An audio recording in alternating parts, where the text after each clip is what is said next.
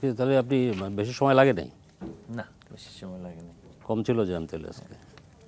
চট্টগ্রাম থেকে আপনার অনুষ্ঠানে। থ্যাংক ইউ দর্শক আপনাদের প্রত্যেকে স্বাগত জানাচ্ছি মাছরাঙ্গা টেলিভিশনের সাপ্তাহিক আয়োজন বৈঠকখানার আজকের আড্ডায়।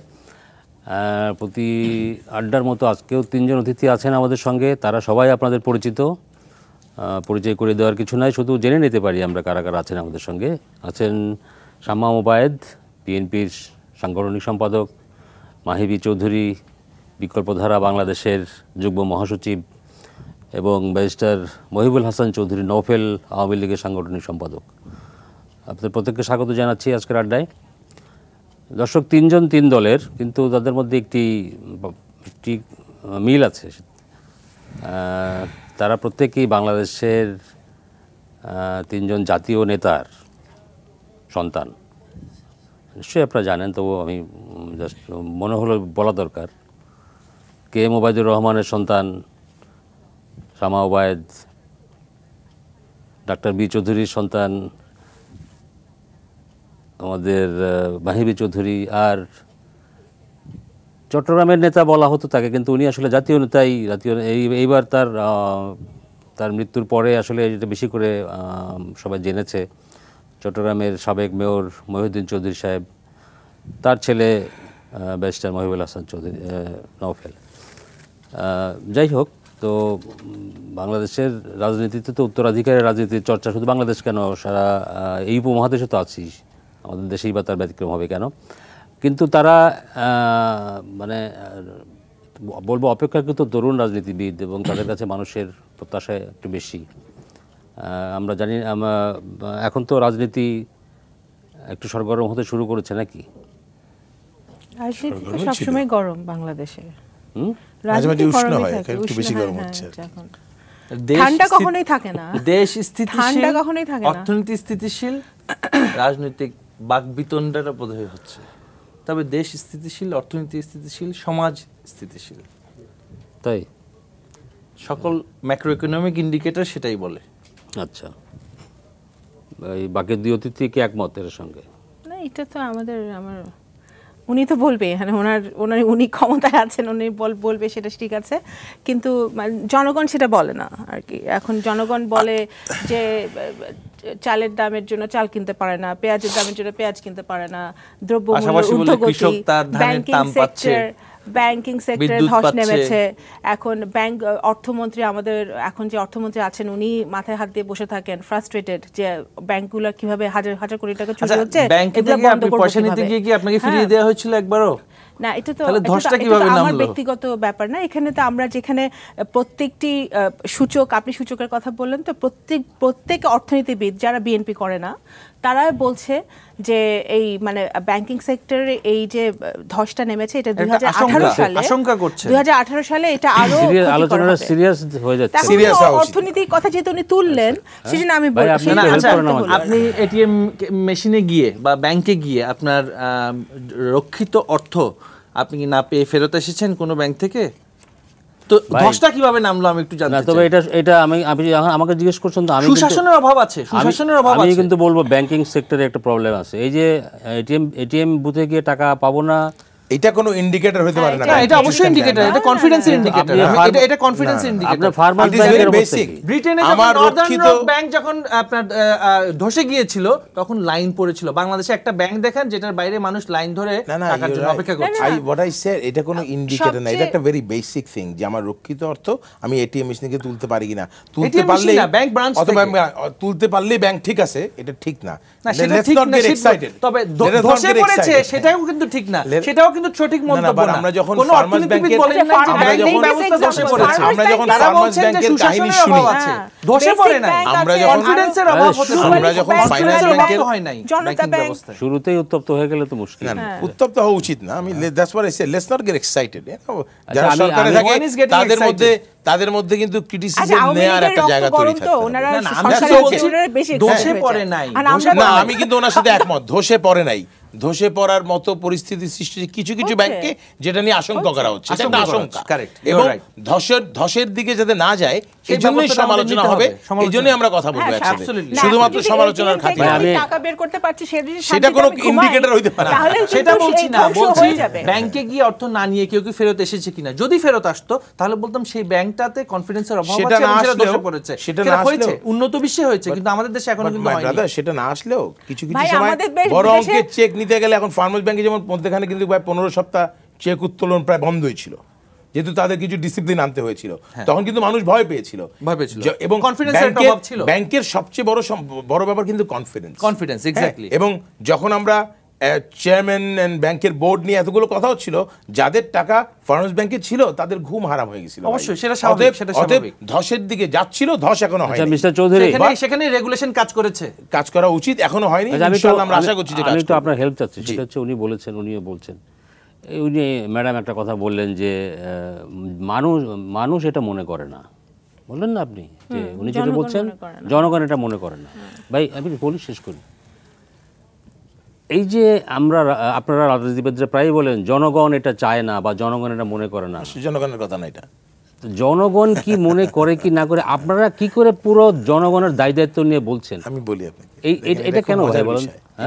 Let us have the discussion in a more less excited way so that we can discuss Okay, yes. আমাকে মনে খুব মজার একটা Discussion টপিক ভাই, always আপনি exciting. excited না, না, না আপনি Discussion কাম থাকেন। না, আপ- আপ- আপনি আপনি উস্কানি দিলে তো এক্সাইটেড উনিও হবেন তো সেই আচ্ছা, বিষয়টা। সেটা না আমার এটা একটা খুব ইন্টারেস্টিং টপিক আসলে। রাজনীতিবিদরা জনগণের মাথায় কাঁঠাল ভেঙে খায় এটা বহুদিন ধরে আমরা দেখে আসছি। আমরা আমাদের মতামতটা জনগণের মতামতের উপর দেওয়ার চেষ্টা করি। যেরকম আহ, আমি দুটো বক্তব্যের মাঝামাঝি আসলে আসার চেষ্টা করছি দেখলাম যে বিষয়টা আসলে বাস্তব কি। আহ, যেটা উনি বলেন যে একেবারে all economic indicator is so good there is no problem is not correct let say that হ্যাঁ? অ্যান্ড ব্যাংকিং ব্যাংকিং খাত যেটা শ্যামা বলেন যে ধস নেমে গেছে এটাও নট কারেক্ট বা ধস নামার পথে কিছু কিছু ইনসিডেন্ট দেখা গিয়েছে ধস একটা গুলো ধস হতে পারে হ্যাঁ। একটা ধস হয়ে গেছে তো 7.5% এর মধ্যে পার্থক্য আছে। economic So এই growth কি দুটোই দুজনে কিন্তু জনগণের মতামত বলছেন। আসলে তা না এখন জিনিসটা কি ইতিহাসে শুধু যে কিন্তু প্রবৃদ্ধি হয় নাই এখন সেই প্রবৃদ্ধি। আচ্ছা। হ্যাঁ। জিনিসটা কিন্তু আসলে আমরা যদি সব দলের বা রাজনৈতিক কালচারটাকে দেখি আপনি দেখবেন আমরা বলি না যে জনসভা হচ্ছে। আপনি কি জনসভায় জনগণ দেখেন নাকি? জনসভায় কিন্তু এক একজন অত নম্বর ওয়ার্ড ছাত্র দল অত নম্বর ওয়ার্ড ছাত্রলীগ অত নম্বর ওয়ার্ড কৃষক লীগ ভাই- এটা কর্মী সভা হয়। আমি এলমি ফিনিশ আমি কিন্তু কোনো একটি দলকে বলছি না আমি আমাদেরটাও বলছি। রাজনৈতিক জনসভা বলতে যা হয় ওগুলো হচ্ছে কি আসলে বৃহৎ আকারের কর্মী সভা হয়। এখানে জনগণের সম্পৃক্ততা ধরেন সাতই মার্চে বঙ্গবন্ধুর যেটা বঙ্গবন্ধু যে জনসভায় ছিল জনগণের সেটা ছিল জনসভা। কিন্তু এখন যেগুলো হয় লাল দিঘির ময়দানে হোক আর পল্টন ময়দানে হোক এগুলো বৃহৎ আকারের কর্মী সভা। এগুলো হচ্ছে দলগুলো তাদের শক্তি প্রদর্শন করবার জন্য একটা রাজনীতি করে কারণ রাজনীতিতে শক্তি প্রদর্শনটা অত্যন্ত ইম্পর্টেন্ট একটা জিনিস বাংলাদেশের খাতিরে। পারসেপশন ক্রিয়েট করার জন্য। হ্যাঁ? পারসেপশন ক্রিয়েট করার পারসেপশন দেখো যে আমি অনেক শক্তিশালী রাজপথ আমার দখলে রাজপথ দখলে রাজনীতিতে তার নিয়ন্ত্রণে থাকে। এরকম একটা পারসেপশন থেকে দুটো বৃহৎ দল, বৃহৎ আকারের মহাসমাবেশ যেটাকে বলে, আসলে কর্মী মহাসমাবেশ করে বা আমরা বলি জনসভা হচ্ছে, জনগণ সম্পৃক্ত হচ্ছে।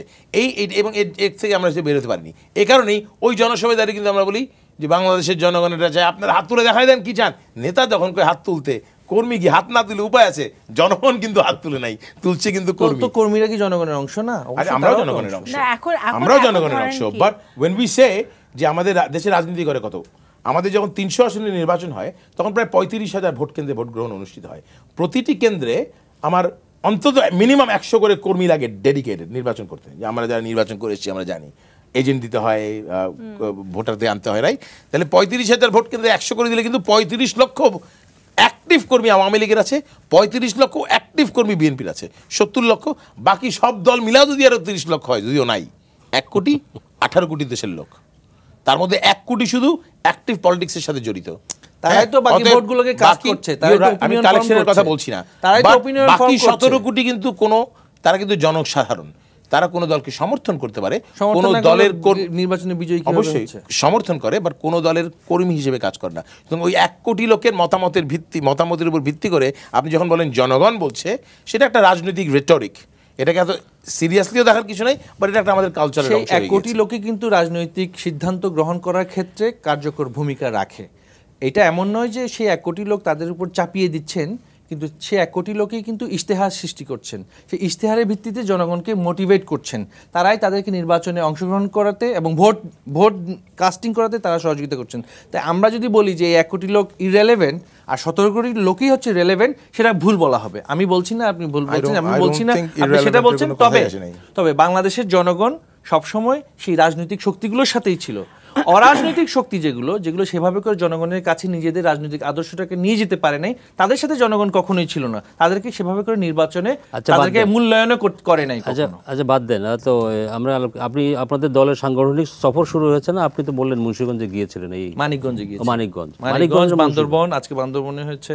আচ্ছা, এটা উদ্দেশ্য কি? এটা কি- কি করছেন আপনারা? মানে ইলেকশনকে সামনে রেখেই তো প্রোগ্রাম এই প্রোগ্রামটা নিয়েছেন, তাই পাশাপাশি যেহেতু আমরা সরকারে নয় বছর ধরে ছিলাম, আমাদের সরকারের সময়, বঙ্গবন্ধু কন্যা জননেত্রী শেখ হাসিনা, তিনি তার নেতৃত্বে যে সমস্ত উন্নয়ন কার্যক্রমগুলো হয়েছে, সেগুলো জনগণের মধ্যে নিয়ে যাওয়ার জন্য, জনগণের মাঝে প্রচারের জন্য, পাশাপাশি আমাদের কর্মীরা যারা আছেন, আমাদের কর্মীরা যেন সেগুলো সম্বন্ধে অবগত হন এবং আগামী নির্বাচনকে মাথায় রেখে আমাদের সংগঠনকে কীভাবে পরিচালিত করতে হবে সেই বিষয়গুলোতে সুনির্দিষ্ট দিক নির্দেশনা দেওয়ার জন্যই সাংগঠনিক কার্যক্রমের অংশ হিসেবে আমরা এই সাংগঠনিক সফর করছি। এত উন্নয়ন করছেন এখনও কর্মীরা অবগত হয় নাই? না না দেখুন প্রচারণার কৌশল না গিয়ে অবগত করতে হবে? না কি অবশ্যই করতে হবে অবশ্যই করতে হবে কারণ প্রচারণা না কি প্রচারণার কৌশল সম্পর্কে তাকে অবগত করতে হবে।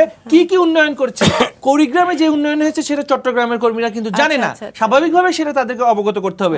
আমাদের এনাফ উন্নয়ন হয়েছে তাই বাংলাদেশের প্রবৃদ্ধি আজকে সাত পার্সেন্টের উপরে গিয়েছে আমাদের এনাফ উন্নয়ন হয়েছে তাই বাংলাদেশের প্রবৃদ্ধি আপনারা যে চারশো ডলারে রেখে গিয়েছেন মাথা পিছু আয় সেটা এখন ষোলোশো ডলারে গিয়ে ঠেকেছে সেই বিষয়গুলো তো সেই বিষয়গুলো তো মানুষের হ্যাঁ, মধ্যে আনতে হবে এত এত কত লক্ষ হাজার লক্ষ টাকার মানে ঋণ আছে এগুলা তো এখন এই দুই আচ্ছা, না, না। সালে কেমনে শোধ হবে এটা চিন্তা করছে ম্যাডাম অর্থনীতিবিদরা। শামা ওবায়দ ওই ঋণ। ব্যাংক নিয়ে তো বলেছেন তারপরে। ধরেন উনি উনি বলতেছেন উন্নয়ন করেছেন তাহলে কেন চার কোটি কোটি হলো? আচ্ছা শুনেন চার কোটি লাখ এখনও ইয়াং জেনারেশন এখনও বেকার আছে। বাংলাদেশে এটা কেমনে হলো? আপনারা তো জনসংখ্যাও তো বৃদ্ধি পেয়েছে। আপনাদের ইশতেহারে প্রবৃদ্ধিও হচ্ছে। টু থাউজেন্ড এইটেও ছিল আবার 7% টু থাউজেন্ড ফোরটিনেও growth, দুই হাজার চোদ্দোর 7% ইশতেহারে ছিল আপনারা ঘরে ঘরে কর্মসংস্থান করবেন। তাহলে সেটা বেকারত্ব তো বাড়ছে কেন? কেন আচ্ছা, বাড়ছে জানেন? বেকারত্ব বাড়েনি। চা দিতে বললে কি আলোচনাটা একটু নরম ইয়ে হবে নাকি গরম হবে আর কি? না না না চা চা এটা আসলে গরম না এটা এটা this is part of for politics so এখানে তো কি আছো ভাই? এটা হবে। যেহেতু ওনারা পার্লামেন্ট। বর্জন করেছেন পার্লামেন্টে যান না তাই সমস্ত ঝাল টক নানান কিছুর মাধ্যমে ওনারা কিন্তু এটা মানে আমি আজকে আজকে একটা আজকে একটা খবর পেলাম যে আরে আওয়ামী লীগ এত উন্নয়ন করেছে।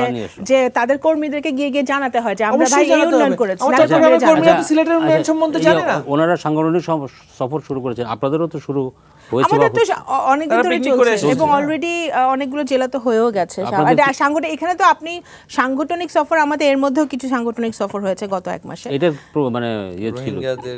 না রোহিঙ্গা না- না রোহিঙ্গা ইস্যুতে না। মানে এই সফর উনি যেরকম বললেন একটা পারপাস রাজনৈতিক না, না, দলের সাংগঠনিক আমাদের- সফর কখনো নেতিবাচক হতে গত পারে না। এক বছর সেটা যেই এটা না আমাদের যেহেতু আমাদের তো আরও ক্রুশিয়াল বিকজ যেহেতু আমরা উনিই বললেন পার্লামেন্টে নাই আমরা রাস্তায় আছি। এবং রাস্তায় যেহেতু আছি, আমরা গত আট দশ বছরে আমাদের নেতাকর্মীরা বিভিন্ন মামলার জর্জরিত আছে। তো এখনও বিভিন্ন জেলায় আমাদের এবং উপজেলা লেভেলেও আমাদের কর্মী সভা হচ্ছে বেসিক্যালি আমাদের যেহেতু এখন আমরা দেখছি যে আমাদের আপনারাও আজকে পত্রপত্রিকা আছে। আমাদের স্থায়ী কমিটির মিটিং চলছে। দেশনেত্রী বেগম খালেদা জিয়ার একটা রায় হবে আহ, ফেব্রুয়ারি আট তারিখের রায় হ্যাঁ, হ্যাঁ, চলছিল শেষ হয়েছে এখন রিসেন্টলি তো এখন ওই এটা এইটার সব মিলিয়ে তো দল তো একটি আমরা অবশ্যই তো একটা বিপদের মধ্যে আছে, কর্মীরাও বিপদের মধ্যে আছে। তো সেই কারণেই বিভিন্ন কারণে আমাদের কর্মী সভাগুলো হচ্ছে এবং সেই একই সাথে আমাদের সংগঠনগুলো গোছানোর জন্য, আমাদের জেলা কমিটিগুলো হচ্ছে, বিভিন্ন উপজেলা কমিটি, সেই জন্য সাংগঠনিক সফরগুলো হচ্ছে। এটা তো অনগোয়িং হচ্ছে আর এর মধ্যে কারণ ওনারা তো নিশ্চিন্তে করতে পারে পুলিশের পাহারায় প্রোগ্রাম করে। আমাদের আমাদের করি হ্যাঁ পুলিশের মানে সব অ্যারেঞ্জ করে দেয় ওনারা গিয়ে দেন। আচ্ছা, এখন আমাদের আমাদের হলো যে আমাদের মাঠ চাইলে মাঠ দেয় না স্কুলের মাঠ চাইলে পারমিশন দেয় না এই মাদ্রাসার মাঠ চাইলে পারমিশন দেয় না আমাদের বহু ঘুরে ফিরে বহু ঝামেলার মধ্যে প্রোগ্রাম করা ঢাকা শহরের প্রেক্ষাপটটা ভিন্ন। ঢাকা শহরে আমরাও কিন্তু ঢাকা শহরে কি? আপনি গ্রামে যান। না, গ্রামে তো সভা সমাবেশ হচ্ছে। সভা সমাবেশ হচ্ছে কয়টা জায়গায় হচ্ছে। সব জায়গায় গিয়েছি সমাবেশ সেখানে হচ্ছে। অনেক জায়গায় poster, one forty four leaflet জারি হয়। দেখেন ভাই আপনি আপনি একটা দুটো এক্সাম্পল দিলে হবে না। তো ইন জেনারেল অনেক জায়গায় প্রবলেম হচ্ছে। প্রবলেমের মধ্যেও আমরা করছি। প্রবলেমের মধ্যেও আমরা করছি। সেটাই হলো বড় আচ্ছা আওয়ামী লীগ বিএনপিটা শুনছি। এবার মাহিমের কাছ যুক্ত ফ্রন্ট, হ্যাঁ। আমি তো আমি তো এখন বিএনপি প্রোগ্রাম করতে পারছি না। যেখানে অনুষ্ঠান করতে যাচ্ছি বিএনপিকে বাধা দেওয়া হচ্ছে। আহ, তাদের অফিস মাঝে মাঝে বন্ধও করে দেওয়া হয় তালাও মেরে দেওয়া হয়। বিএনপি কথা বলার মতো রাজপথে আন্দোলন করবার মতো সুযোগ পাচ্ছে না। রাজনীতি চালানোর সুযোগ পাচ্ছে না। কথাটা উনি তো। বললেন রাজপথে আছেন। হ্যাঁ ওই যে তো রাজপথে মানে যে ওইভাবেই রাজপথে আছেন বাধা- বাধা বিপত্তি অতিক্রম করে আছেন। আছে। তবু তো আছেন। এবং আজকে এই যে সামাজিক কথাগুলো বলল আমার খুব ভালো লাগছে। যে সামাজিক বোধোদয়টা হয়েছে যে রাজপথে প্রোগ্রাম করতে না দেওয়ার কষ্টটা কি? আমাদের রাজপথে প্রোগ্রাম তো দূরের কথা। বারান্দাও দাঁড়িয়ে দিয়ে দিত না ওরা যখন ক্ষমতায় ছিল। সো বাট এই যে আজকে যে বুঝতে পারছে আশা করি ভবিষ্যতে তার একটা ইতিবাচক প্রভাব নিশ্চয়ই রাজনীতিতে পড়বে। নিশ্চয়ই আগামীতে গেলে আর এই কাজগুলো করবে যে বিকল্প ধারাকে দাঁড়াতেই দেয় না সেটা দাঁড়াতে মানে আমাদেরকে তো বাড়ির বারান্দায় দাঁড়াতে দিয়ে দেয় না ভাই রাজপথ দূরের কথা। আমি বিকল্প ধারা ঘোষণার পর এক মাস বাড়ির বারান্দায় গেলেও বোমা মারতো। রাজপথ তো আরও দূরে। সুতরাং বাট এই যে বোধোদয়টা হয়েছে তাই না? এটা তো ঠিক। যে আজকে যখন মানে নিজের কার্যালয় বন্ধ থাকে ঘরের মানুষ পর হলে একটু বেশি রাগ গোসা বেশি হয় রাগটা যদি এমন হয় বোমা মেরে রাগের আচ্ছা, প্রকাশ ঘরের- করতে না of course I agree with my ভাই আচ্ছা, না না আচ্ছা, অফ কোর্স আচ্ছা, আচ্ছা, ঘরের- ঘরের মানুষ পর হয়ে গেল কেন? না না গেল কেন? না সেটা তো না, না দ্যাটস আ ডিফারেন্ট. ডিসকাশন। কিন্তু মানে অফ আমি- কোর্স আমি এগ্রি করি যে আমাদের গুণগত পরিবর্তন অবশ্যই আসার প্রয়োজন সেটা আমি করি। কিছু না ভাই থ্যাংক ইউ থ্যাংক আচ্ছা না হ্যাঁ আমরা আপনি না ও আচ্ছা ঠিক আছে থ্যাংক ইউ এই তো এই তো হ্যাঁ? এই যে আওয়ামী লীগ আমি এখন মাহি ভাইকেও দেবো। এই যে আওয়ামী লীগ বিএনপির মধ্যে এই যে সৌহার্দ্য। আওয়ামী লীগ হচ্ছে আওয়ামের লীগ। সুতরাং আওয়ামকে উর্দু শব্দ- উর্দু- উর্দু শব্দ হয়ে গেল। কর্তব্য। এটা এবার আমি একটু এটা ধন্যবাদ, থ্যাংক ইউ আওয়াম হচ্ছে কি আওয়ামী জনগণ না? জনগণ। জনগণের লীগ। আমরা সকলকে জনগণ হিসেবে আচ্ছা যাই হোক ওই যুক্ত যুক্ত ফ্রন্টের আপনারা তো যুক্ত ফ্রন্ট করলেন একটা কয়েকটা দল মিলে। জি। তাদের কোনো অ্যাক্টিভিটিস দেখতে পাচ্ছি না। না আমরা তো প্রথমে বলছি যুদ্ধমত এখনও আনুষ্ঠানিকভাবে ঘোষণাই হয়নি আমরা এখনও কাজ করছি আমরা নামটা ঠিক করেছি আমরা একসাথে কাজ করব ঠিক করেছি। এর মধ্যে অনেকগুলো প্রক্রিয়া আছে সেই প্রক্রিয়াগুলো এখনও সম্পূর্ণ হয়নি যেমন এখনও ডক্টর কামাল হোসেন সাহেব কিন্তু ঐক্য প্রক্রিয়া নামে একটা কাজ চালিয়ে যাচ্ছেন। আমরাও যুক্তফ্রন্ট নামটা ঘোষণা করে কাজ চালাচ্ছি এবং একই উদ্দেশ্য নিয়ে চালাচ্ছি হয়তো বা এই যুদ্ধফ্রন্টটা আরও বৃহৎ আকারে আমরা সামনের দিকে আনার চেষ্টা করব। আমি একটু একটু if I want I want to go back a little bit যেটা ন- নফিল যে বক্তব্যটা আসছিল not to challenge him or to ওর ওর বক্তব্য নফেলের বক্তব্যর আহ, আহ, প্রতিবাদ করতে গিয়ে বলছি না। বাট এরকম একটা পারসেপশন তো আছে সত্যি কথা যে বাংলাদেশে এই রাজনৈতিক শক্তিগুলোর সাথেই জনগণ থাকে এবং সেটাই কিন্তু স্বাভাবিক। রাজনৈতিক শক্তির বাইরে কারও সাথে দেশ পরিচালনার দায়িত্ব কখনোই জনগণ দিতে চায় না। কিন্তু দু দলের বাইরে কেউ আসলেই তার রাজনৈতিক শক্তি না সেটাও আবার ঠিক না। যেরকম আমরা অবশ্যই রাজনৈতিক তাই না? আমরাও রাজনৈতিক শক্তি। অবশ্যই আমরাও কিন্তু নির্বাচনে গিয়ে খুব ভালো ফলাফল পাইনি। এটাও কিন্তু কারেক্ট এটা কিন্তু বাস্তবতা যে আমরা আমাদের সাংগঠনিক ভিত্তি রচনা করতে পারি নাই। বাট আমি একটু বাস্তবিকভাবে যদি আমি জিনিসটাকে দেখি হ্যাঁ কারও বিরুদ্ধে বলবার জন্য নয়, জাস্ট বাস্তবিকভাবে একানব্বই ছিয়ানব্বই দুই হাজার এক এবং তারপর নির্বাচনে আপনি দেখবেন যে আমাদের ওই যে আনডিসাইডেড যে ভোটের সংখ্যা সেটা কিন্তু দিন দিন বাড়ছে। এটা কিছুদিন আগে আমি একটা যেই আহ, আওয়ামী লীগের একটা জরিপ থেকে আমি কিন্তু দেখেছি যে আনডিসাইডেড ভোট যে বাড়ছে এটা কিন্তু রাজনৈতিক দলগুলো অ্যাকসেপ্ট করছে। এবং এটা কিন্তু পজিটিভলি দেখার একটা উপায় আছে। মানে অন্ধ যে কোর সাপোর্ট ওই যেখানে তিরিশ, পঁয়ত্রিশ পার্সেন্টের মধ্যে কিন্তু দুটো দলের মধ্যে আছে অ্যাবাউট সিক্সটি সিক্সটি ফাইভ তারপর কিন্তু জামাত জাতীয় পার্টি মিলে আরও কিছু আছে, যেটা একানব্বইতে যেটা প্রায় পনেরো পার্সেন্টের মতো ছিল সেটা কিন্তু এখন বলা হচ্ছে প্রায় পঁচিশ থেকে তিরিশ পার্সেন্ট ছোট অবজেকশন আছে আপনি শেষ করুন আমি বলব। হয়তো একটা সাপোর্ট বাড়ছে পনেরো বিশ পঁচিশ এরকম হয়তো হয়েছে। আপনি বিএনপির সাপোর্টের ক্ষেত্রে যে সংখ্যাটা বলেছেন আমার মনে হয় না আমি আমি সেটা সেই সেই- অনুপাতে আছে। আমি সেটার মধ্যেও বিতর্কে যাব না। যেখানেই থাক বাট বিএনপি কিন্তু একটা কোর ভোট আছে। বিএনপি যত খারাপ কাজ করুক ও চোখ বন্ধ করে বিএনপির ভোট দেয়। এটা তো আছে। আওয়ামী লীগের একটা কোর আবার পাশাপাশি মানুষ কিন্তু যেটা ট্রেন্ড অনেকে আছে বিএনপি সাপোর্ট করছেন বা ট্রেন্ড যদি দেখে এটা আমার ব্যক্তিগত অভিজ্ঞতা। vote এর হ্যাঁ, বাইরে। কর্মী তো ভাই জোর করে ভোট নিয়ে নিয়ে নিয়ে যাওয়া কোর ভোটের ট্রেন্ড বাইরে। আমি কিন্তু বিতর্ক- আমি কিন্তু এই বিতর্ক সেটা দেখা গিয়েছে। আমি আমি কোনো সংখ্যায় গেলাম মানুষ কিন্তু পরিবর্তন let me let me rephrase myself আমি ঝগড়া চাচ্ছি না আসলে। লেট মি রিফ্রেজ মাইসেলফ আমাদের যারা আনডিসাইডেড ভোটার মানে যারা আওয়ামী লীগেরও কন্যা বিএনপিরও কন্যা তারাই প্রধান সিদ্ধান্ত গ্রহণকারী। তা নাইলে প্রতি নির্বাচনে ক্ষমতার বদল হতো না। একানব্বইতে বিএনপি ছিয়ানব্বইতে আওয়ামী লীগ দুই হাজার একে বিএনপি দু হাজার নয় আওয়ামী লীগ তার মানে এই মানুষগুলো প্রতি নির্বাচনে তার মানে তাদের একটা they have a general appetite for change সেই জায়গাটায় কিন্তু তারা আছে এবং আওয়ামী লীগ যেমন একটা বিশাল শক্তি বিএনপিও একটা বিশাল শক্তি আনডিসাইডেড যারা দুজনকে নিয়ে স্যারি আপনাদের পাচ্ছে না তারাও আমি let me finish one sentence তারাও একটা বিশাল শক্তি। বাট ওই বিশাল শক্তিটাকে অর্গানাইজ করে আমরা এখনও প্রতিনিধিত্ব করতে পারছি না এটা আমাদের সাংগঠনিক ব্যর্থতা। আমি স্বীকার করি। কিন্তু আমাদের সফলতা নাই। আমাদের সফলতা আছে। এই যে প্র- প্র- পরিবর্তনের ক্ষুধাটা কিন্তু আমরা তৈরি করছি। এটা তো আস্তে আস্তে একটা সময় আমি দাঁড়াবো। আচ্ছা, ছোট্ট একটা শুধু জিনিস আচ্ছা, একটু একটু শান্তি মতো চাটা খেয়ে নেই একটু একটা ব্রেক নেই তারপরে আসব আলোচনা দর্শক আমরা একটা চা বিরতিতে যাচ্ছি। আশা করছি আপনারা থাকছেন আমাদের সঙ্গে।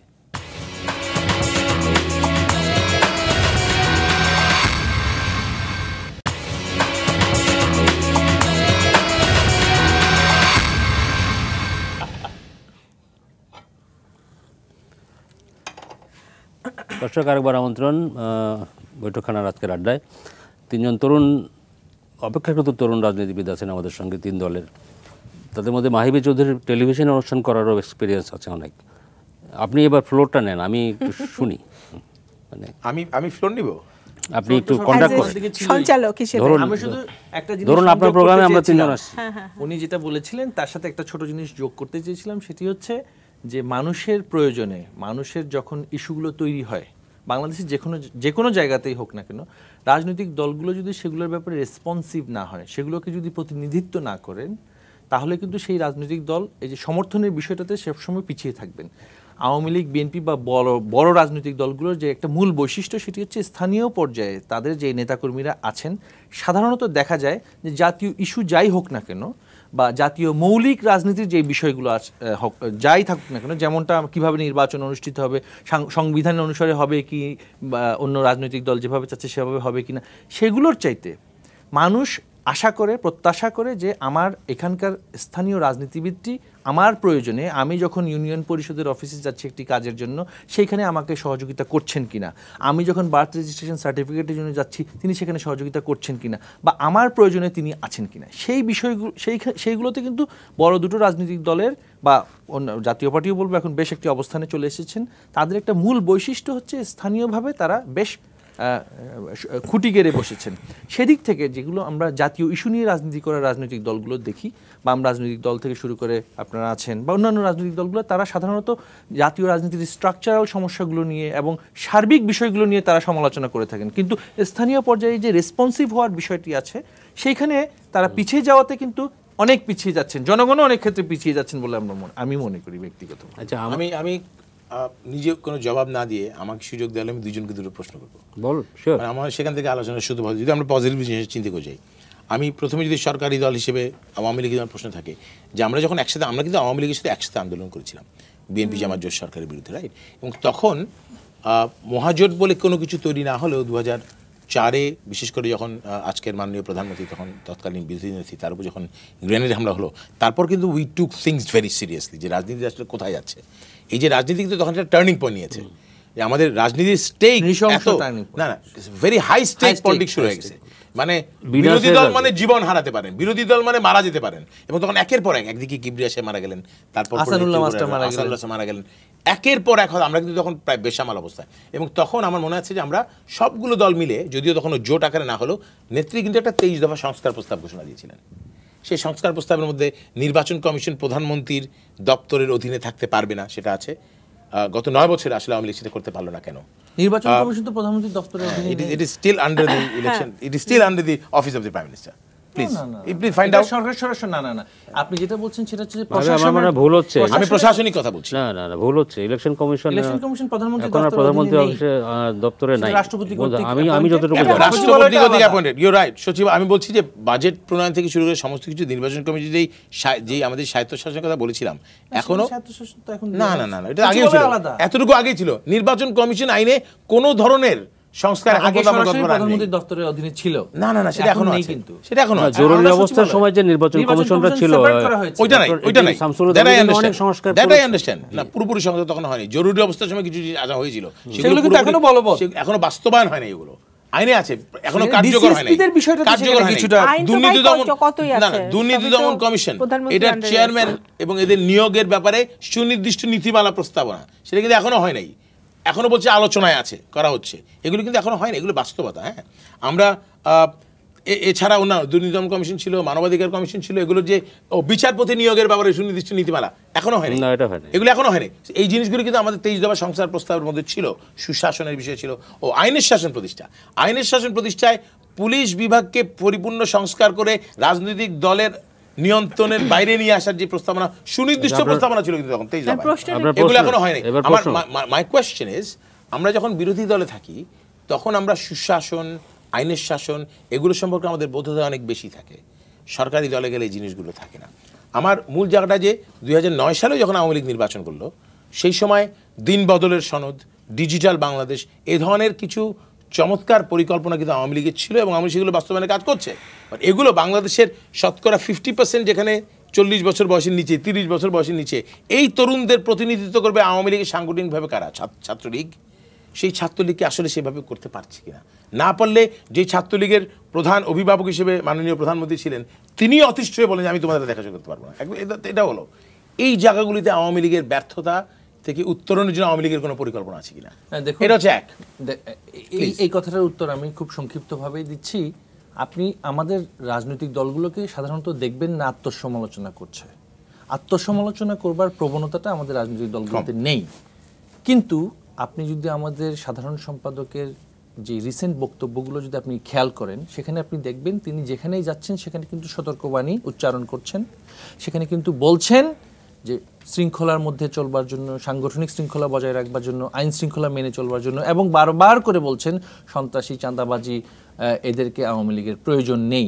রাজনৈতিক বাস্তবতায় যেহেতু দীর্ঘদিন ধরে আমরা ক্ষমতায় ছিলাম সেই ক্ষেত্রে আমাদের দেশের যে সাংগঠনিক বাস্তবতা আছেন তো এখনও? হ্যাঁ? না অবশ্যই। অবশ্যই আমরা তো ছিলাম বা আছি সেটা মুখ্য বিষয় না। সেখানে সরকারের সাথে সম্পৃক্ততা সৃষ্টি করবার জন্য সরকারের কাছাকাছি আসবার জন্য নানান ধরনের সামাজিক এলিমেন্টস কিন্তু সেখানে যুক্ত হয়। সেগুলোকে ফিল্টার আউট করে রাজনৈতিক দলকে একেবারে আদর্শিক রাখাটা অত্যন্ত কষ্টসাধ্য একটি বিষয়। অত্যন্ত কষ্টসাধ্য বিষয়। আমি একজন অর্গানাইজিং সেক্রেটারি এখানে আরও একজন সাংগঠনিক সম্পাদক আছেন। আমাদের যে বিভাগ আমাদের যে যে সাংগঠনিক ইউনিটগুলো সেখানে সবাইকে একটা সিঙ্কে কাজ করতে হবে। সেই সিঙ্কে কাজ করার বিষয়ে আমি মনে করি অন্যান্য রাজনৈতিক দলগুলোর সাথে যদি আমি তুলনা করি তুলনামূলকভাবে আওয়ামী লীগের যে সাংগঠনিক স্ট্রাকচারটি আছে সেই স্ট্রাকচারটি এখনও কাজ করছে। কিন্তু একই অবস্থা সাংগঠনিকভাবে আওয়ামী লীগের গঠনতন্ত্র অনেক বেশি গণতান্ত্রিক। মানে এখন যদি- দলের চেয়ারপারসন সভানেত্রী চাইলেও কিন্তু একজন তৃণমূলের কাউকে বরখাস্ত করতে সেটা ওয়ার্কিং কমিটি মিটিং এ পাশ করতে হয়। এবং এখন যদি একইভাবে আমার অপর রাজনৈতিক দলটি যদি যারা অনেকদিন ক্ষমতায় ছিলেন তারা যদি এই সময় তাদের পাঁচ বছরে কি হয়েছে আমরা সেটা দেখেছি। এর ফলশ্রুতিতে দুই বছর বাংলাদেশ গণতন্ত্রহীন থাকতে হয়েছে। তাদের পাঁচ বছরে কি পরিমাণ অত্যাচার নির্যাতন হয়েছে তা আমরা দেখেছি। সেখানে তারা এখন বলতে পারবেন যে সেগুলো আমাদের এলিমেন্টস ছিল না। সেখানে তাদের সরাসরি পৃষ্ঠপোষকতা আচ্ছা পর্যন্ত ভাই আপনার আপনার আনসার ঠিক। এবার তারা তারা যদি সঠিক না করে আপনার জন্য সঠিক করা অনেক কঠিন হয়ে আচ্ছা, আমাদের ন্যূনতম ঐক্যমত্য জাতীয় রাজনীতিতে সৃষ্টি করতে হবে আরেকটা ব্রেক ব্রেকের টাইম হয়ে আসছে প্রায়। আপনি বিএনপির কাছে প্রশ্নটা করেন আচ্ছা বিএনপির কাছে প্রশ্ন খুব সহজ একই জিনিসই। এই আমরা দু থেকে দু যে বিএনপিকে দেখেছি এর আগে একানব্বই থেকে ছিয়ানব্বইতে যে চমৎকার বিএনপি আমরা দেখেছিলাম সেখান থেকে কিন্তু বিএনপির দেশ পরিচালনার ক্ষেত্রে দু এক থেকে দু ছয় আমি বলব না বিএনপি তার ব্যর্থতাগুলোকে বোঝে কিনা কোথায় কোথায় তার ভুল ছিল। এক দু নম্বর সে ভুলগুলো থাকলে সে ভুলগুলো শুধরানোর জন্য বিরোধী দল হিসেবে গত নয় বছরে কি পরিকল্পনা বিএনপি করেছে? আচ্ছা। কি কারণে আমার মনে হবে যে দু থেকে দু যা হয়েছে এর পুনরাবৃত্তি ঘটবে না? আচ্ছা। এটা মনে করার জন্য একটি দুটি বা তিনটি তিনটি বলে সাংঘাতিক অন্তত একটি কাজ আমাকে বলতে হবে। এই কারণে একই পুনরাবৃত্তি ঘটবে না। জি না সেটা এখন মানে মাহিবা যেটা বললেন, এটা ভ্যালিড কোয়েশ্চেন আমি একটা ব্যাপারে নফ মানে নফেল ভাষাতে আমি একমত যে যখন একটি দল, রাজনৈতিক দল পাওয়ারে থাকে বা রাষ্ট্রের দায়িত্বে থাকে, তখন অনেক এলিমেন্টস যুক্ত হয়, এটা ঠিক। কিন্তু বিএনপি যে, উনি যেটা বললেন যে বিএনপি দুই হাজার এক থেকে দুই সালে বিএনপির হয়তো সব কিছু একটি যেমন আওয়ামী লীগ এখন ক্ষমতা আছে বিএনপি আগে ক্ষমতা ছিল একটি সরকারের সব কিছু হান্ড্রেড পার্সেন্ট সঠিক হওয়া সম্ভব না। নিশ্চয়ই ভুলভ্রান্তি ছিল। ভুলভ্রান্তি ছিল দেখেই তো আজকে আমরা সেই বিরোধী দলে আছি বা রাস্তায় আছি এবং সেটা আমরা শোধরানোর চেষ্টা করছি। এখন আপনি জানতে চাচ্ছেন একটি উদাহরণ। একটি উদাহরণ একটি উদাহরণ না, আমরা বহু উদাহরণ আছে। আমরা তো মানে শুধু দর মানে দলকে গোছানোর ক্ষেত্রে দলের ভিতরে দলের বাইরে এবং বিভিন্ন ইস্যু নিয়ে আমাদের কাজ করার ক্ষেত্রে আমাদের সরকারের যে গাফিলতিগুলো এখন আমরা দেখছি গত দশ বছর এগুলো নিয়ে কাজ করার ক্ষেত্রে এগুলো কিন্তু সব কিছু বিএনপি করে যাচ্ছে। এখন বিএনপি এটা কখন বিএনপি প্রুফ করবে? যখন বিএনপি আবার সুযোগ পাবে রাষ্ট্রের দায়িত্বে স্পেসিফিকলি জানতে চাই বিএনপি বিরোধী দল হিসেবে এমন একটি BNP বিরোধী দল হিসেবে হ্যাঁ। আমি একটা কাজ আমি আমি অ্যাজ এ ভোটার আমি কিন্তু জাতীয়তাবাদী শক্তি আমি অন্তরের ভিতরে লালন করি। আমি বিএনপিকে সমর্থন করতে চাই। Can you convince me with one thing my ভাই এই কারণে বিএনপি আগামীতে যে আপনি ভালো কাজগুলো এই জিনিস পরিবর্তন হবে সেটা আপনাকে গ্যারান্টি করছি। এই দেখেন এই জিনিসটা হয়েছে। একটা ঘটনা কোনো আমি- একটি পরিবর্তন কথা হয় নাই। বলি দর পরিচালনায় কোনো পরিবর্তন হয় নাই। কর্মসূচি প্রণয়নে কোনো পরিবর্তন হয় নাই। Why will I trust BNP one more time আমি একটা জিনিস বলি। আমি আওয়ামী লীগের দুঃশাসনে আমি অতিষ্ঠ। বুঝলাম? আমি আওয়ামী লীগকে চাই না। আমি বিএনপি কে তাহলে আমাকে তো একজনকে সরায় আনতে হবে। আমি বিএনপিকে আনব কেন? আমাকে গিভ মি ওয়ান রিজন যে আমি বিএনপিকে এই কারণে আমি আমার ক্ষমতা দিই আমি আওয়ামী লীগকে কেন ক্ষমতা থেকে সরাতে চাই? আমার কাছে দশটা কারণ আছে ভাই। I am convinced but I want to be convince যে আওয়ামী কি লীগকে না- সরায় আচ্ছা, আমি বিএনপি সব কে কিছু আনলে। হতে পারে কিনা? না না না এটাই হচ্ছে মূল না, প্রশ্নটা। আচ্ছা আমি দুইটা কথা বলি আর দুইটা কথা বলি। এখন আপনি একটা উদাহরণ চান, দুইটা কথা বলি। একটা গত আমি গত নয় বছরের কথা বাদ দিলাম। গত এক বছরে আমাদের দুটো জিনিস দেশনেত্রী এবং খালেদা জিয়া জনগণের উদ্দেশ্যে পেশ করেছে। একটা হচ্ছে ভিশন টোয়েন্টি থার্টি হ্যাঁ যেটার মধ্যে বিএনপি আগে যা করেছিল সেটা ইমপ্রুভমেন্ট কি করবে এবং ভবিষ্যতে যদি রাষ্ট্র ক্ষমতা আসে তখন কি কি করতে পারে? এটার মধ্যে আপনার প্রধানমন্ত্রীর ক্ষমতার ভারসাম্য থেকে শুরু করে সবগুলো আপনার এই বাংলাদেশের উন্নয়নের জন্য যা যা কিছু প্রয়োজন সবকিছু কিন্তু এটা মানে আছে। না না। প্রধানমন্ত্রীর ক্ষমতা ভারসাম্যের জন্য কি প্রস্তাব করেছেন? কেন? মে আই নো না কেন না এটা তো. বললেন ভাবে, না। তিনি অত্যন্ত ডাইলিউট ভাবে বলেছেন। উনি শুধু বলেছেন প্রধানমন্ত্রীর ক্ষমতা ভারসাম্য করা হবে। কি করা হবে বলবেন আমাকে? হবে Can না, you সেটা কি করা না কি। কি করা হবে এটা এটা তো এটা তো এটা যখন আমাদের ইশতেহারে হবে তখন আর না, ইশতেহারে ভাই, অবশ্যই আসবে। এটা- এটা কি- এটা visionary thought, এটা না, কি না, of সাধারণ মানুষের ইস্যু কিনা এটা? হ্যাঁ না না না অফকোর্স এটা কারণ কারণ এটা সাধারণ মানুষের ইস্যু এই কারণে ইনডাইরেক্টলি এটা সাধারণ মানুষের ইস্যু বিকজ এখন আমরা কি দেখতে পাচ্ছি নতুন ধারার রাজনীতি না না এখন আমরা কি করতে পাচ্ছি এইটা ঘোষণা করার পর চার বছর পার হয়ে গেল। নতুন ধারার রাজনীতি এখন পর্যন্ত ডিফাইনই করলেন না। একজন নেতা করেন নাই। এখন না সবচেয়ে বড় কথা নির্বাচন সংক্রান্ত আচ্ছা যে আপনারা দুজনেই কথা আমাকে একটু বলতে দেন। এটা এইটা জনগণের ইস্যু এই পারেন কারণে কারণ প্রধান না এখন কিন্তু আমরা কি দেখছি? এখন বাংলাদেশে আমরা দেখছি যে একজন ব্যক্তি সকল ক্ষমতার অধিকারী এবং সেই কারণে কিন্তু অনেক রাজনৈতিক সমস্যার ক্রিয়েট হচ্ছে। এবং আজকে আমরা কি দেখতে পাচ্ছি? যদি আপনার জুডিশিয়ারির কথা যদি আমি বলি জুডিশিয়ারিতে যদি কোনো সমস্যা হয় এক একটি রায় দেওয়ার কারণে যদি একটি একজন বিচারপতিকে দেশ ছাড়া হতে হয় অসুস্থতার কারণ দেখিয়ে তাহলে আপনি আমাকে বলেন যে আমরা তো দেখতে পাচ্ছি এক শ্যামা এক ব্যক্তি থেকে কিন্তু সবকিছু হচ্ছে। মানে একজন ব্যক্তি যা বলবে বাংলাদেশে তাই চলবে। এখন আপনি সেটা হবে না। এখন ওনাদের গঠনতন্ত্র বিএনপি হ্যাঁ, ক্ষমতা আছে সেটা হবে না। অবশ্যই সেটা তো হবেই না সেটা তো আমরা ক্যাটেগরিক্যালি বলেছি। এবং আমরা। প্রত্যেকটা সেটা তারপরে অন্তত ক্ষমতায় আসার পরে। এখন তো আপনার দলের না, না, মধ্যে এই তারপরে পরিস্থিতি তৈরি করতে পারছেন 2000 যে এক ব্যক্তির এক ব্যক্তির নির্দেশে দল চলবে না আচ্ছা আমরা পরে শুনি না, course, of আমরা- course. আপনি আপনি আরও ডিটেল বলবেন আমাদের এই নিয়ম মানে অনুষ্ঠানের নিয়ম অনুযায়ী যেটা মাহি ভাই জানেন আমাদের আর একটা ব্রেক নিতে হচ্ছে এখন। আমরা নেন ব্রেক নেন। আলোচনা যেন ব্রেক না হয়। হ্যাঁ। তারপর কিন্তু সরকারের ব্যাপারে তো কথা আছে আমাদের অবশ্যই অবশ্যই বলবেন দর্শক আশা করছি এই তিন তিন তরুণ রাজনীতিবিদের আড্ডা আপনাদের ভালো লাগছে আমরা ফিরছি আরেকটি বিরতির পর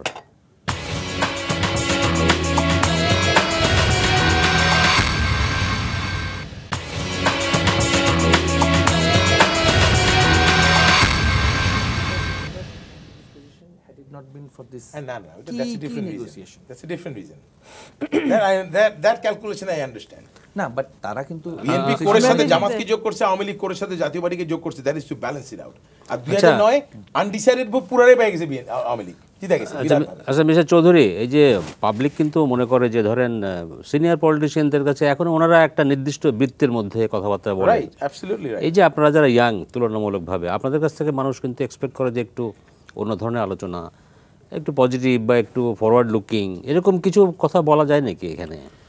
এই বলতেই হবে। আমরা যদি- আমরা যদি সেটা বলতে ব্যস্ত থেকে শুরু- হই। এখান থেকে শুরু করি? প্লিজ লেডিস ফার্স্ট না না সেটা তো অবশ্যই। এখন আপনি তো আপনার আলোচনার শুরুতেই বললেন যে যেহেতু আমরা মানে উত্তরাধিকার সূত্রে আসি আর যেভাবে আসি আমরা মনে করি যে আমরা তো না আমরা আমরা তো দেশের জন্য কাজ করছি দলের জন্য মানে রাজনীতিতে থাকাটা এটা একটা একটা বিরাট সুবিধা হচ্ছে যে আপনার আপনার ক্যানভাসটা অনেক বড় আপনি চাইলে অনেক কিছু করতে পারেন আপনি আপনার এলাকার লোকের জন্য কাজ করতে পারেন দেশের জন্য কাজ করতে পারেন অনেক ইস্যু নিয়ে অনেক সামাজিক ইস্যু নিয়ে আপনি কাজ করতে পারেন।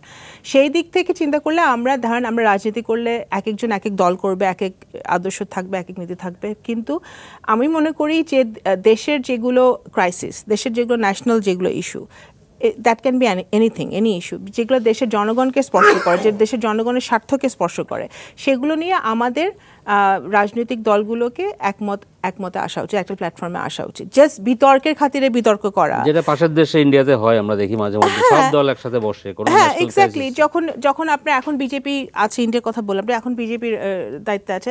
তারা যখন আপনার তাদের প্রাইম মিনিস্টার যখন অন্য কোনো দেশে যায় তারাকে কিন্তু অ্যাজ নিডেড বেসিসে তারা বিরোধী দল কংগ্রেস থাকলে কংগ্রেসের সাথে তারা বসে আলোচনা করে করে একটা মোটামুটি একটা চেষ্টা করে যে জাতীয় ইস্যুগুলোতে যেগুলো ইন্ডিয়ার স্বার্থ সেগুলোতে একসাথে করে।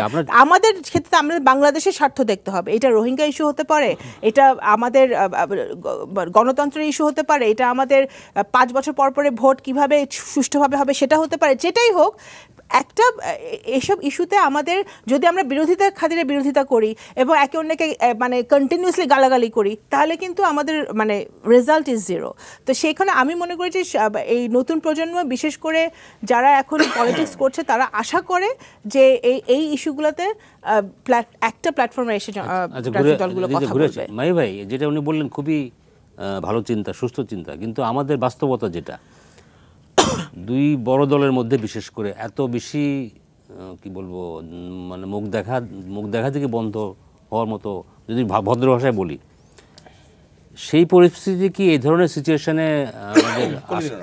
আসা- সম্ভব হবে? কোনোদিনও না। এখানে তাহলে তাহলে উত্তরণের উপায় কি? না না উত্তরণের উপায় এখানে যে জিনিসগুলো সঙ্গে বলেছি আমি কিন্তু তার সাথে একশো ভাগ একমত।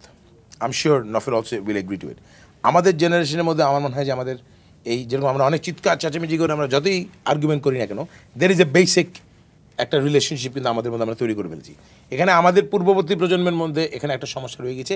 এই সমস্যার জন্য আমি যে কোনো একজনকে দায়ী করব না। সামগ্রিক রাজনৈতিক পরিস্থিতি এমন একটি পরিস্থিতি তৈরি করেছে আসলে। এখন আমাদের যদি আমরা সামনের দিকে এগোতে চাই তাহলে আমাদের কি করা উচিত যদি আমরা বলি? এক নম্বর নম্বর ওয়ান আমাদেরকে হাই স্টেক পলিটিক্সটাকে লো করতে হবে। এত স্টেক এত হাই থাকলে যে আমি ক্ষমতা হারালে আমার জীবন হারাতে পারে। এই রাজনীতি আপনি বন্ধ না করলে এই রাজনীতি বন্ধ না করলে স্টেক যদি আপনি লো না করেন তাহলে ক্ষমতায় যে যাবে সে জীবন দিয়ে হলেও ক্ষমতা আঁকড়ে রাখার চেষ্টা করবে বিকজ আমি ক্ষমতা হারিয়ে আমি আমাকে মেরে ফেলবে আবার। আমি ক্ষমতা হারিয়ে আমাকে আবার গ্রেনেড মারবে। এই ভয়টা কিন্তু আওয়ামী লীগের বিরুদ্ধে আছে আমি বুঝতে পারি এটা। সেখানে আবার বিএনপি দিকটাও দেখেন আজকে ক্ষমতা হারিয়ে বিএনপিকে অনেক কিছু হারাতে হয়েছে। কিন্তু কিন্তু- হয়নি প্রাণ এটা না, না, না, না, ভাই, প্রাণ- না, না, এখন আওয়ামী লীগও প্রত্যেকটা মানুষের কিন্তু জীবনের মূল্য একই বিএনপির অনেক লোকের প্রাণ হারাতে হয়েছে so let's not argue on that but পলিটিক্সটা তো হাই স্টেক এই জায়গাটা আমাদেরকে স্টেকটাকে লো করতে হবে। এটা আপনি কীভাবে করবেন? এটা করার জন্য আপনাকে বেসিক কিছু জায়গায় জাতীয় ঐক্যমত হইতে হবে। আমাকে যদি আপনি বলেন যেমন এক নম্বর বাংলাদেশের স্বাধীনতার প্রশ্নে স্বাধীনতা বিরোধীদের সাথে আমরা কেউ রাজনীতি করব না। Let us come to an agreement it is good for BNP as well আমি আম শিওর বিএনপি কিন্তু সেই পন্থা খোঁজার চেষ্টা করছে, এখন খুঁজে পায়নি। কিন্তু বিএনপি সেটা চায়। বিএনপিও তো একটা মুক্তিযোদ্ধার রাজনৈতিক দল। শহীদ রাষ্ট্রপতি জিয়ার মানে দল। তারাও সেটা চায়। বাট কেন হচ্ছে না এর ভেতরে তো একটা ইনহেরেন্ট ক্রাইসিস আছে, সেজন্য হচ্ছে না। সেটা এক নম্বর। সো স্টেকটাকে লো করার জন্য কিছু কাজ করতে হবে। এক। দুই নম্বর, কিছু জাতীয় ইস্যুতে প্রোগ্রামের ইস্যুতে, অর্থনৈতিক উন্নয়নের ইস্যুতে আমি আওয়ামী লীগের সমালোচনা করব is one thing but Awami লীগের কিছু ভালো দিক কিন্তু আমরা কিন্তু এই গত আট, নয় বছরে তাদের উন্নয়নের জন্য কিছু যে দিক নির্দেশনা পেয়েছি এগুলো কি বিএনপি আসলে বন্ধ হয়ে যাবে? বিএনপি কিন্তু বলা উচিত না আপনার ভালো দিকগুলো বন্ধ হবে না। Can be come to a national consensus একটা ন্যাশনাল ম্যানিফেস্টো শুধু আওয়ামী লীগের না বিএনপির না। কিছু বেসিক জায়গায় যে এডুকেশনের ব্যাপারে আমরা এটা করব। কমিউনিকেশনের ব্যাপারে আমরা এটা করব। আইনের শাসন প্রতিষ্ঠার ব্যাপারে এটা করব। চার পাঁচটা ইস্যুতে একটা জাতীয় ইশতেহার হওয়া প্রয়োজন। এটা সব দেশে হয়েছে। এই যাতে এইটা আমরা কেউ চেঞ্জ করব না। বাকি জায়গা হতে পারে দুই। আর থার্ড একটা সিঙ্গেল পয়েন্ট সলিউশন আমাদেরকে আসতে হবে। জাতি হিসেবে কিন্তু আমাদের অনেক অর্জন আছে। আমরা বাহান্নতে সারা জাতি একটা জিনিস চেয়েছিলাম রাষ্ট্রভাষা বাংলা চাই আমরা করতে পেরেছি। একাত্তরে স্বাধীনতা চাই সারা জাতি পেরেছি। নব্বইতে গণতন্ত্র চাই পেরেছি। এখন এসে আমরা আমিও বলছি পরিবর্তন চাই। বিএনপি বলছে নতুন ধারা দিব আওয়ামী লীগ বলছে দিন বদলাই দিব। This is so vague can we come to one single problem যে কোন একটা সমস্যা যেটা আমার প্রধান সমস্যা? আমি আমি- আচ্ছা, একটু ফিস শেষ করতে চাচ্ছি। আসলে একটা সমস্যা চিহ্নিত করতে হবে যেটা আমার আসল সমস্যা। এই ব্যাপারে আমাদের সবাইকে একটা পলিটিক্যাল কমিটমেন্ট লাগবে পলিটিক্যাল কনসেন্সাস ঐক্যমত লাগবে। যেমন ইজ ইট করাপশন এটা কি দুর্নীতি? এটা কি আইনের শাসন? কোন একটা জায়গায় সলভ করলে পুরো জাতি আসলে রাইট ট্র্যাকে আসতে পারে? এই তিনটা কাজ এই তিনটা কাজ যদি আমরা সমস্ত রাজনৈতিক দল ভেদাভেদ ভুলে করতে পারি এবং সেখানে যদি বড় দুটো দলের অহংকার একটু কম থাকে তাহলে যে জাতীয় ইশতেহার তৈরি হয় আমি মনে করি বাংলাদেশ সামনের দিকে এগিয়ে যেতে বাধ্য। আচ্ছা। না আমি শুধু একটি পয়েন্ট দুইটা পয়েন্ট অ্যাড করছি। একটা হচ্ছে যুগের সাথে সাথে কিন্তু ডিমান্ড চেঞ্জ হয়। বাহান্ন সালে তখন ওইটা ডিমান্ড ছিল। একাত্তরে না না সেটা বলছি। কিন্তু এখন এখন ডিমান্ডটা এখন ডিমান্ডটা কি হবে সেটা এখন যে ক্রাইসিস সেই অনুযায়ী ডিমান্ড মানে সেটাই আমরা ডিমান্ড করব তাই না? তো এখন সেটা সেটা যত কিছু হতে পারে যে উনি যখন বললেন যে সেটা আপনার কারাপশন হতে পারে সেটা ল্যাক অফ ডেমোক্রেসি হতে পারে গণতন্ত্র নাই সেটাও হতে পারে। আরেকটি যেটা আরেকটা অ্যাড করতে যাচ্ছি যে পলিটিক্স খুব যে কোনো প্রাণহানি যে কোনো খুনি কিন্তু আমরা কন্ডেম করি এবং এটার বিচার হওয়া উচিত। কিন্তু সে একই সাথে রাজনীতি কিন্তু এমন একটা জায়গায় চলে গেছে যে অনেক বেশি তিক্ততা বেড়ে গেছে। আগে যেমন আমার আপনি আমাদের আগের জেনারেশনের কথা বললেন আমার বাবা ওনার বাবা ওনার বাবা ওনারা যখন রাজনীতি করতেন ওনারা ওনারা রাজনীতি করতেন ওনারা রাজনৈতিক মামলা খেতেন রাজনৈতিক মামলার জন্য জেলে যেতেন। এবং ফ্যামিলি জানতো যে ব্যক্তিটি জেলে আছে মামলায় আছে। বাট এখন যখন আমি রাজনীতি করি আমার আমার চোদ্দ গোষ্ঠী রিস্কের মধ্যে আছে আমার ফোরটিন জেনারেশন রিস্কের মধ্যে আছে। শুধু আমি রিস্কে নাই। আমি মামলা খেতে পারি আমার চোদ্দ গোষ্ঠীও মামলা খেতে পারে। এবং যে কোনো সময় গুম হতে পারে। এবং গুম আগে কিন্তু রাজনৈতিক আচ্ছা, নেতাদেরকে রাজবন্দি বলা হতো। এখন রাজনৈতিক নেতাদেরকে দশ বার বিশ বার করে রিমান্ডে নেওয়া হয় রাজনৈতিক নেতাদের হাই স্টেক আমি আবার বলছি। হ্যাঁ, এটা কিন্তু একটা খুব একটা রাজনীতির চলে গেছে। আচ্ছা, আমি- আমি- আমরা- আমরা সামনের দিকে এগোতে চাই। আপনি বলবেন আমি বলি আমি একটু বলি না সেটা হচ্ছে ওনারা দুজনে যেটা বললেন না তাতে কিন্তু দুজনেরই একটা জায়গায় কমন যে কিছু কিছু বিষয়ে জাতীয় ঐক্যমত দরকার। তাই তো বললেন আপনিও বলেছেন উনিও বলেছেন। কিন্তু তৈরি করার পরিবেশটা কিন্তু তৈরি করতে হবে। হ্যাঁ সেটাই বলছি। দরকার- দায়িত্ব মূল সরকারের প্রধান এই রাজনীতিতে এখন যে। তিক্ততা শুধু না মানে এলিমিনেশনের একটা Politics বাংলাদেশে গণতন্ত্র এই পরিস্থিতিতে আপনি একজন ইয়াং পলিটিশিয়ান হিসেবে আপনার কাছে কি মনে হয়? তাহলে এখন করণীয় কি একটাই? যে রাজনীতিতে তিক্ততা মারামারি বিরোধ বিদ্বেষটা কম কমানো প্রথমে. সেইটি কীভাবে করা সম্ভব? দেখুন এই যে মাহিবা একটা কথা বলেছিলেন যে সুনির্দিষ্টভাবে একটি কারণ ফাইন্ড আউট করা জাতীয় কনসেনসাসের জন্য। আমাদের ষোলো কোটি দেশের মানুষের ষোলো কোটি মানুষের দেশে একটি কারণ বা সুনির্দিষ্টভাবে পাঁচ ছয়টি কারণ বের করাটা খুবই কঠিন এবং দুরূহ একটি আমি যেটা বললাম, সুশাসন অন্যতম সমস্যা। আইনের শাসনের অভাব অর্থনৈতিক আপনার ইনএফিসিয়েন্সি আমাদের ইনস্টিটিউশনগুলোর ইনএফিসিয়েন্সি জবাবদিহিতার অভাব সব কিছু অনেকগুলো কিন্তু আমাদের আমাদের কিন্তু সমস্যা সংকুল একটি দেশ। প্রথমে উনিশশো একাত্তর সালে কিন্তু আমরা কিন্তু একটি পরিপূর্ণ সম্পূর্ণ অবকাঠামো সমৃদ্ধ একটা দেশ পাই নাই। আজ- নাই। না সেখান থেকে আমরা আজকে এখানে এসেছি। এই যে চলার পথে কারা কতটুকু কন্ট্রিবিউট করেছে এই দেশের অবকাঠামোগত উন্নয়নে সার্বিক উন্নয়নে প্রাতিষ্ঠানিক উন্নয়নগুলোতে সেটা কিন্তু পরিসংখ্যান দেখলেই আমরা দেখতে পাবো। আমি আমার দলের জন্য গর্ব করব না। কিন্তু আজকে সারা সারা পৃথিবীতে বঙ্গবন্ধুর কন্যা জনেত্রী শেখ হাসিনা সমাদৃত হচ্ছেন। শুধুমাত্র যে তিনি রাজনীতিবিদ হিসেবে বাংলাদেশে দু দুবার একসাথে প্রধানমন্ত্রী হয়েছেন তার জন্য নয় কিন্তু। আজকে উন্নয়নের জন্য বাংলাদেশ সারা বিশ্বের কাছে একটি রোল মডেল এই উন্নয়নের রাজনীতির ক্ষেত্রে উন্নয়নের রাজনীতির ক্ষেত্রে যদি আমরা ঐক্যমত্য প্রতি- প্রতিষ্ঠা করতে পারি যে আমাদের আদর্শিক যাই আদর্শিক অনেক ধরনের পার্থক্য থাকবে। আমার আওয়ামী লীগ না, বুঝতে পেরেছি। মধ্য বামপন্থী দল। কিন্তু সেক্ষেত্রে উন্নয়নের রাজনীতিতে আমাদের ঐক্যমত্য কেন প্রতিষ্ঠা হচ্ছে না? পূর্বে আমরা দেখেছি কিন্তু বারংবার অবকাঠামোগত কাজগুলোতে ব্যাপক দুর্নীতি হয়েছে। অবকাঠামো নাই কিন্তু টাকা নিয়ে যাওয়া হয়েছে। এই ধরনের পরিস্থিতি তো এখন নেই। উন্নয়নের প্রশ্নে হচ্ছে না এখন। উন্নয়নের প্রশ্নে সবার উন্নয়নের প্রশ্নে একমত হতে হবে এবং উন্নয়নের পাশাপাশি পুঁজিবাদী অর্থনীতির প্রাথমিক এই বিকাশে কিন্তু সুশাসনের অভাব হবে। সুশাসন নিশ্চিত করার ক্ষেত্রেও আমাদেরকে একমত হতে হবে। কিন্তু যে হাইস্টেক গ্যামলিং রাজনীতিতে যে হাইস্টেক গ্যামলিং শুরু হয়েছিল তাদের সরকারের সময়ে সেই হাইস্টেক গ্যামলিং থেকে আমরা বেরিয়ে আসতে পারিনি। হ্যাঁ। আমরা কিন্তু দু হাজার চোদ্দ সালে দু হাজার পনেরো সালে দু দুবার দেখেছি সেই হাইস্টেক গ্যামলিং কিন্তু চলছে। মানুষ পুড়িয়ে রাজনীতি করবার যে প্রবণতা সেটা কিন্তু বন্ধ হয়নি। সেটা যদি বন্ধ না হয়, সেটা কিন্তু বন্ধ যদি না হয়, আমরা দিতে দিকে এগোতে পারব মানুষ আগামী নির্বাচনকে মাথায় রেখে- পুড়িয়েছে আগামী নির্বাচনকে মাথায় রেখে আমরা এ পুড়িয়েছে, আসল সেটা প্রতিজ্ঞা বেরিয়ে করি। আগামী নির্বাচনকে মাথায় রেখে হবে। প্রতিজ্ঞা করি উন্নয়নের রাজনীতি হবে। রাজনীতি গণতন্ত্র ধ্বংস হোক।